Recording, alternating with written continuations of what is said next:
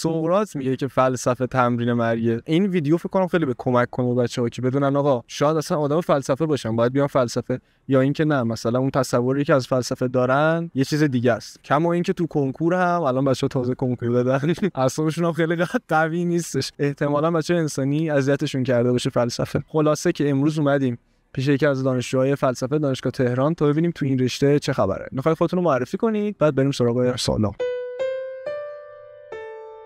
سلام. من سید امیررضا میرسلاتی ام. دانشجوی جامعه شناسی و فلسفه دانشگاه تهران در خدمت یه سوالی که ما کلا از همه می‌پرسیم اینه که تصورتون قبل و بعد انتخاب این رشته چطوری بوده؟ مثلا من باید دیدی وارد مثلا یه رشته میشم ولی وقتی خودم میرم تجربهش می‌کنم خب این خیلی ممکن تغییر کنه. این برای شما چه جوری بوده؟ ببین خب معمولا ما تصورم از رشته اون کتابایی که تو دبیرستان می‌خونیم دیگه. بیشتر کتاب فلسفه تو دبیرستان تم فلسفه اسلامی داشت. یعنی حالا فلسفه ایران و مسلمان و اینا وارد دانشگاه که شدیم بیشتر تمش فلسفه غرب بود. یعنی فلاسفه که شاید توی کتاب درسی مثلا تو پاورقی می اومدن و اینا می‌شد مهمترین فلسفه فلسفه که ما باید بخونیم مثلا کانت یا فلسفه آلمانی و این بنابراین هم بیشتر خود زبان اون کتاب و اینا واژه های انگلیسی و غربی و آلمانی و اینا بود.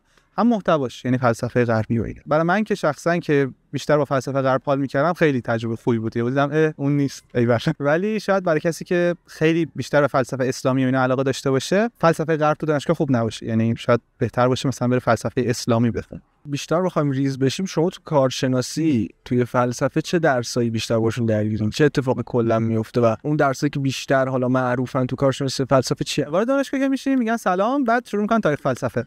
یعنی قطع قطعش می‌کنن. فلسفه یونان یک و دو دوباره فلسفه قرون وسطا فلسفه رنسانس بعد فلسفه آلمان و فلسفه متأخر. یعنی تاریخ فلسفه رو شما اگه از یک کتاب تاریخ فلسفه برداری نگاه کنی که مثلا این تو 300 صفحه جمع کرده اینو پخش می‌کنن تو طول ترم.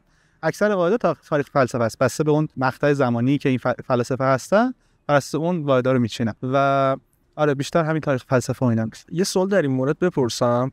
من اتفاقا شنیده بودم من چون خالم خودش فلسفه خونده بود و بابام از این ور مثلا بهش می‌گفت که شما تو دانشگاه دقیقا تاریخ فلسفه می‌خونید یعنی فلسفه ورزیدن نمی‌خونید. این جمله درسته با توجه به چیزی گفتین کارشناسی بیشتر اینه که آشنا بشن دیگه یعنی یه آشنایی کلی با خود فضای فلسفه است. بنابراین تاریخ فلسفه رو با بچه‌ها میگن خود بچه ها بعدا به نسبت علاقه که دارن حالا مثلا طرف کانت علاقه داره هگل علاقه داره. شروع می‌کنن خودم فیلسوف خوندن. خوندن یه فیلسوف اینجوری نیست که من اون کتابشو باز کنم بخونم. دارم همراه با اون و به شیوه اون فلسفیدن انجام میدم و اون با اون فیلسوف می فلسفم بنابراین آره تو دانشگاه تاریخ فلسفه میگم ولی بچه ها خودشون شروع می‌کنن هر فیلسوفی که علاقه دارن باش به نوعی آثارشو می‌خونن. تو ارشدم کلا دانشگاه اینجوری میشه که آره روی فیلسوف باید متمرکز شی و بری جلو. حالا بین این واحدایی که گفتین و اینا خودتون با چی بیشتر حال می‌کنین؟ با کدوم واحد یا درس؟ من خودم بیشتر سمت فلسفه آلمانی و اینا حالا کانت و تا هگل و این. خیلی هم الان فعلا واحد داشته ولی خودم چون می‌خونم بیشتر با اونا. هم مطالعه برتره هم با استادایی که اون درس رو میدن بیشتر حال می‌کنم میشه به مربوط فلسفه قرن 17 تا 19 که میشه کانت و شلینگ و فیخته و هگل و اینا که میشه ایدالیسم آلمانی. بیشتر من با اونا حالا دپارتمان فلسفه دانشگاه تهران هم بیشتر اینه که روی اینا متمرکزن. یعنی تمشون بیشتر ایدالیسم آلمانی. هم استادا هم به حال دانشجو هم اکثر به این مقطع رغبت دارن. شاید دپارتمان دیگر من خبر ندارم شاید دپارتمان دیگه تمرکزش رو حوزه دیگه ای باشه. ولی تمرکز دپارتمان فلسفه دانشگاه تهران روی این بخش. چقدر رشته فلسفه می‌تونه وقتگیر باشه برای دانشجو نسبت به بقیه رشته های علوم انسانی. حالا حقوق روانشناسی مدیریت اقتصاد جامعه شناسی و بقیه رشته ها این بیشتر رشته نظری اینجوری که فعال شما باید برمیداری سه روز در هفته کلاس ها می‌گیری. یعنی بخوای در کنارش کار کنی و اینا وقت آزاد زیاد دارن بچه ما هم زیاد کار می‌کنن.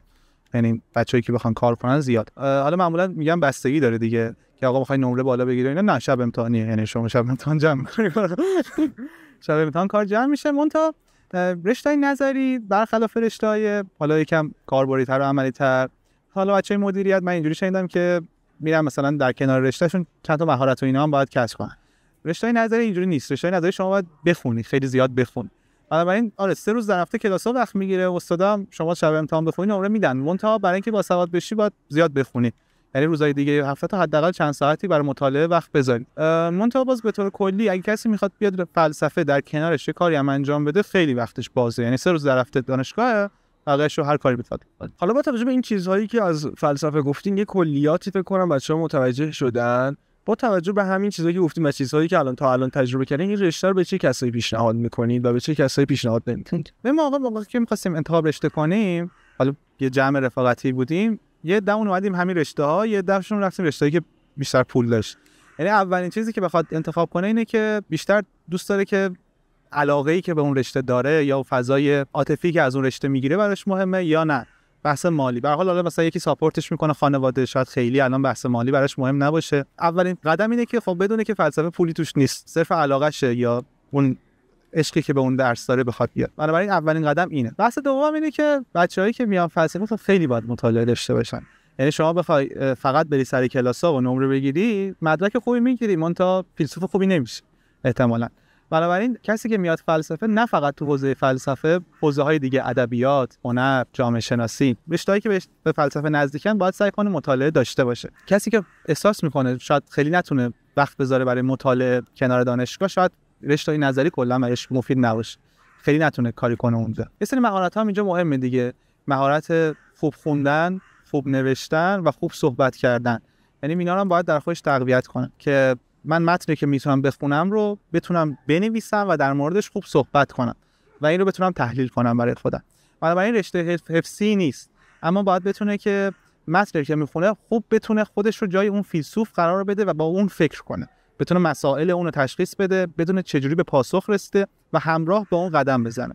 بنابراین نمیشه گفت رشته حفظی اما رشته از این جهت تحلیلی هست. تا حالا من اینو فهمیدم که کسی که می‌خواد وارد رشته فلسفه شه واقعا باید به این حوزه علاقه داشته باشه حالا مطالعات عمومیش سمت این قضیه باشه. بعد فقط تو صحبتاتون اشاره شد به اینکه بتونه فیلسوف خوبی باشه. حالا برای خودم سوال شد که فیلسوف دقیقا کیه؟ ما به چه کسی میگیم فیلسوف؟ فقط یه نکته فکر کنم تو حرفام ابهام شد. تو قبل از دانشگاه لزوما طرف مطالعه خوب میام تا قبل از دانشگاه هیچی از فلسفه نخونده بودم. یعنی وارد دانشگاه هم که شدم باز چیزی از فلسفه نخونده بودم. رفتم جامعه شناسی دیدم ای فلسفه هم جالبه مثلا. اینجوری بود. یعنی لزوما قبلا مطالعه لازم نیست. صرفا اینو در خودش ببینه که آره من اگر چیز بشه بتونم مطالعه داشته باشم. این که بگم فیلسوف خوبیه یا نه بحثم اینه که بتونه همراه اون فیلسوف به فلسفه یعنی بتونه همراهش هم قدم بشه. و فیلسوف هم کسیه که بتونه اولا مسائل جهانی که داره توش زیست می‌کنه رو بفهمه می‌خواد به نحو فلسفی بهش پاسخ بده. اینه که من بتونم اولا مسائلی که اون فیلسوف باش درگیره رو بفهمم بنابراین نیازه که تاریخ بدونم بنابراین نیازه که ادبیات بفهمم هنر بفهمم بدونم در چه زیست فضایی بوده اون آقا. یا خانم بتونم مسائلش رو حالا ببینم از چه راهی رسیده به این پاسخ. من پاسخ ها مهم نیست. اینکه چطور به این پاسخ رسیده. من بتونم با اون تمرین کنم به پاسخ برسم. که حالا بتونم خودم مسائل امروزم رو درک کنم و حالا بتونم به پاسخ به اون برسم. یعنی این این همچین مسیریه که من لزوما لازم نیست پاسخها رو حفظ کنم یا بدونم اون چی گفته. و بدونم اون از چه مسیری اومد. اهمیت دانشگاه تو این رشته چقدره؟ حالا اینکه من دانشگاه تهران بخونم علامه بخونم آزاد اگه داره مثلا آزاد فلسفه بخونم این اهمیت چطوریه؟ در مورد فلسفه دوره های خارج از دانشگاه زیاده یعنی یه سرچ بکنه هزار تا دوره برش میاد. بنابراین نمیشه گفت درس دادن استادای دانشگاه چقدر تاثیر داره؟ خب بهترین استادا دوره ها هست آنلاین می‌تونه به دانشگاه خب مسئله دیگه ای هست اینه که من استاد خوبی می‌بینم یا دانشجوی خوبی می‌بینم و در اون فضا قرار می‌گیرم می‌تونم حالا با مسائل روز آشنا بشم بتونم با استادا ارتباط بگیرم با دانشجوها ارتباط بگیرم. زیل مسائل قرار بگیرم و همراه با اونها کار بکنم. یعنی خارج از بحث یاد گرفتن اینکه من بتونم در فلسفه کاری بکنم. تو این حوزه دانشگاه مهمه. اینکه من با چه کسایی در ارتباط هستم چه مسائلی من رو درگیر کرده و چه اتمسفری اونجا هست.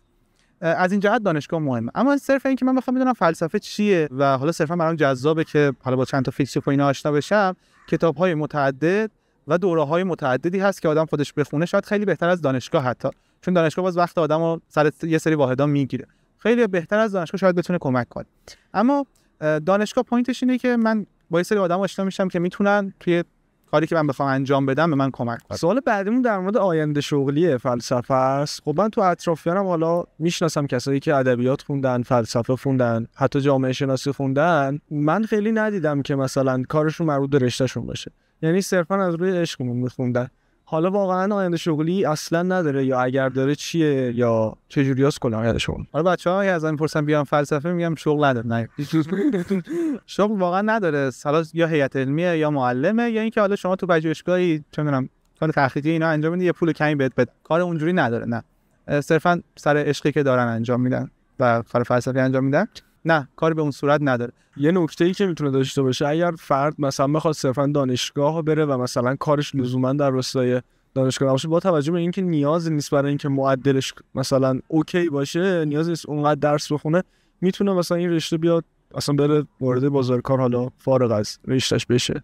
و بتونه این وقت رو داشته باشه. اونقدر وقتی نباشه. بعد سال پیش که ما داشتیم ضبط رو انجام می‌دادیم بعد ضبط ادبیات خب راجع به جامعه شناسی و کلا فلسفه و اینا صحبت شد. بعد اینجوری بودیم که بچه های مثلا فلسفه کلا lifestyle شون یه چیز دیگه است. اینا میرن عارف میشن مثلا درویش یه همچین چیزی. خب بدونم که این واقعا تو زندگی تاثیر داره روی نگرشه یا کلا. اون lifestyle. اصلا می‌خوایم بگیم بچه فلسفه چجوری ان فضا چجوریه؟ دانشکده فلسفه دانشگاه تهران. ببین من دانشکده مختلف دانشگاه تهران رفتم. یعنی اکثر دانشکده بودم. گل ترین بچه ها بچه فلسفه یعنی عشق دوستی محبت. سلام.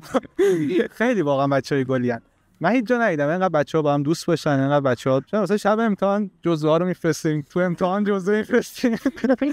اینجوری. آره واقعا فضای خیلی دوستانه ایه شاید بگم بهترین فضا توی بین دانشکده دانشگاه تهران برای بچه فلسفه است. ببین بحث و جدل کلا خیلی وقت تو هیچ دانشکده نیست. یعنی من خیلی کم دارم می‌بینم که حالا مثلا بحث و جدل اینجوری انجام بشه. کاری هم اگه انجام بشه اینجوریه که من مثلا با تو رفیقم با هم دیگه میریم یه جایی با هم دیگه خودمون بحث می‌کنیم. اینجوری نیست که تو دانشکده بحث بشه. منتها فضای دانشجوییش فکر کنم بهترین فضا برای بین دانشکده و بچهای فلسفه. هم تنها نیستیم اونجا تو بچه بین بچه فلسفه یعنی قطعا یه رفیقی هست که پای پای همه باشه. و هم بحثش اینه که به حال بحث یاد دادن و ایناست کمک کردن و اینا. شما امکان نداره مشکل داشته باشی و کسی کمکت نکنه. اینجوریه. میگم تو lifestyle اینجوری تاثیر نمی‌ذاره که بچه‌های منزوی بشن و این مدلی نه. خیلی بچه‌های رفیقی ان و اصلا عشق بکنن. آره من اصلا خیلی وقتا میرم دانشکده فلسفه اصلا میرم که حالم خوب شه کلاس ندارم میرم که حالم خوب شه یعنی اینجوری. اینا بچه‌ها رو حالم خوب شه. این مدلیه. خب یه نکته که هست با قبل ضبط من تعجب کردم می‌گفت پرسیدم که apply رو بپرسم. apply ش رو گفتین apply ش خوبه. okay ه. خب چرا okay؟ چجوریه؟ در خودم عجیب بود چرا مثلا بخوام اون رو بگیرم. بچه‌هامون زیاد apply کردن. یعنی از اینجا میگم okay. بچه‌ها خیلی راحت apply کردن. میگم یه سری شروط داره دیگه. حالا معدلت خوب باشه و یه سری رزومه اینا جمع کنی خیلی راحت میره دانشگاه می‌خوام بیام میگم بیا چون از بین ورودیامون دیدم چند نفر رفتن. که ورودیام زیاد نبود دیگه. 4 سال یکی ها الان رفتن؟ آره چند تاشون رفتن. اپلیت هست. رفتن. بذار ما عرب آره یکم باید رزومه اینا جمع کنید دیگه. حالا معدل خوب و چه می‌دونم انجام علمی و اینا باید جمع کنید. تهش از اینکه اومدین این رشته راضی هستین؟ کلا اون رضایت رو دارین؟ آره خیلی بچه‌ای که میان فلسفه فاز اینه که من حقیقت رو کشف کنم و اینا. خب اونا احساس می‌کنم رضایت خاطر نخواهند داشت. ولی من خب بیشتر دوستشم با فیلسوفا آشنا بشم و فاز این داشتم که خود متن رو بخونم و اینا. سر همین چون استاد خیلی خوبی هم. دانشگاه تهران یعنی نسبت بقیه دپارتمان ها بهترین استاد تو دانشگاه تهران. لذا من خیلی راضی میگم بعضی وقتا سر اینکه حالم خوب شه صرفا میام دانشگاه. بحث رتبه ای که می‌خواد فلسفه دانشگاه تهران چجوریه؟ حالا اینطور که گفته بودین قبلا ما هم صحبت کرده بودیم ظرفیت رو تعدیل کردیم 4 ساله که طور بوده؟ الان طور بود. حالا برای 401 با توجه به ظرفیتش بگیم اونای دیگرم با توجه به ظرفیتش دیگه بچه خوشون تخمین بزن من چون ورودی 401 بودم 401 دو رقمی سه رقمی رو گرفته. یعنی تا سه رقم میام که برای منطقه یک ها. 402 یک هم ظرفیت کمتر شد. یعنی 401 35 نا بوده 402 فکر کنم شده 20 و اینا. یعنی یکم کمتر شد سر همین شاید یکم سختگیرانه تر شد. زیر هزار و اینا باید باشن بچه در نهایت کلا حرف آخری داریم. با بچه هایی که حالا دارن این ویدیو رو می‌بینن و اگه تا اینجا دارن می‌بینن که حتما براشون مهم بوده فلسفه. یعنی یا حالا می‌خوام بیان یا قطعا می‌خوام بیان. اگر تا اینجا شنیدین احتمال زیاد می‌خواستیم بیان برای کسایی که علاقه مندم بیان فلسفه صحبت داریم باشون در آخر. چون بچه‌ای که باز یکم رشته مدیری تر انتخاب کنن یکم تم متفاوت تری دارن. دیگه مثلا بچه‌ها موقع انتخاب رشته پول و شغل و اینا. بچه‌ای که تا آخر این ویدیو رو دیدن یکم متفاوت تره بیشتر سمت علاقه و اینا می‌خوام بیان. بنابراین اگه علاقه دارید و اینا نظرم بیاید خیلی خوش میگذره. حالتون خوب میشه قطعا. بنابراین پیشنهادم اینه که اگه تا اینجا دیدید بیاید. حالا مرسی از وقتی گذاشتین. دمتون گرم. امیدوارم که بچه ها استفاده رو برده باشن رو انتخاب درست بتونن بکنن با این صحبت هایی که داشتین. دمتون گرم. و خداحافظ.